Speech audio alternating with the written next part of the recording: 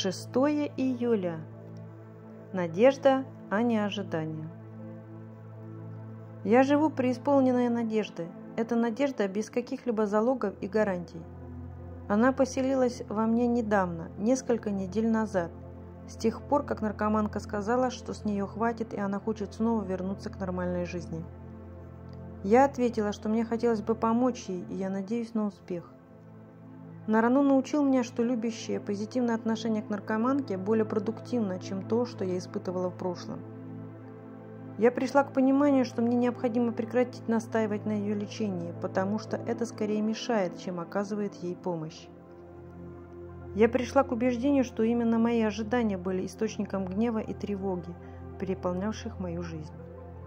Наркоманка может бросить программу реабилитации раньше срока и продолжить свое прежнее саморазрушение – или же она завершит программу, и я скорректирую свою жизнь так, чтобы ей нашлось в ней место.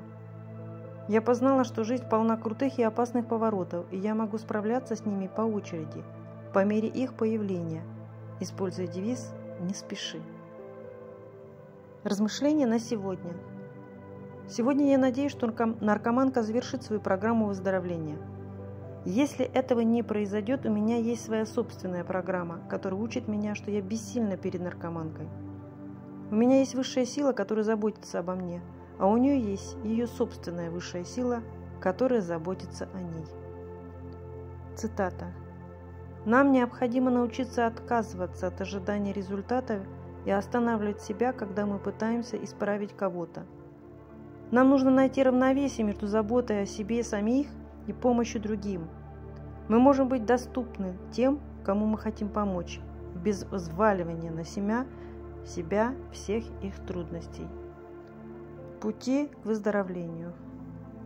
Paths to recovery.